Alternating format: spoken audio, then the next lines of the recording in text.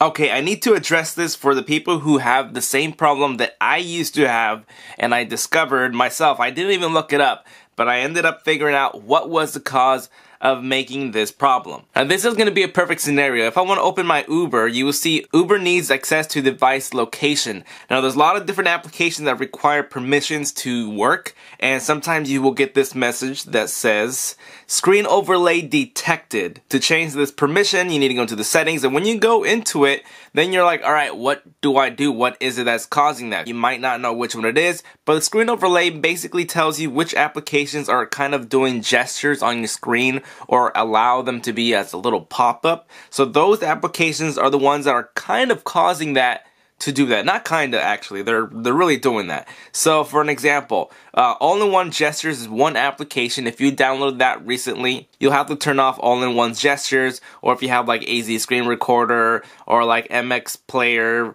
uh, there, there's a couple things in there. You, you have to kind of go off and on in each setting to figure out which one it is that's doing that. But in this case, All-in-One Gestures is, is causing me to not have permissions to open up certain applications. So All-in-One Gestures allows me to, you know, swipe up and get into recent or open up. And I, I, I love those little features. That allows me to keep being in this area without having to drag down. So when I go back into it, I go, oh yeah, you go to Uber. This is Uber. So I'll go back to Uber and again allow and I want to allow, but I can't use my locations until I actually turn this one off. So now all-in-one gestures is off. Let's go back.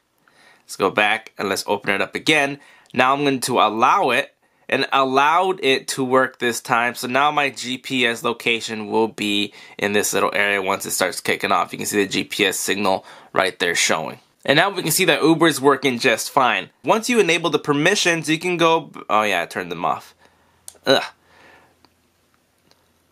Go back into the application and we will permit and allow that to go work again. Now we'll enable this.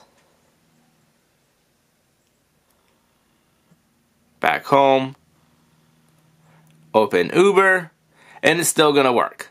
I've had a lot of people asking me how to take that off or how to get around that, and this is the way you do it. Well, I hope that helped, and if it did, please share this video. And as always, thank you for watching, and I will see you guys next time. Later. Yes, you can use my code there.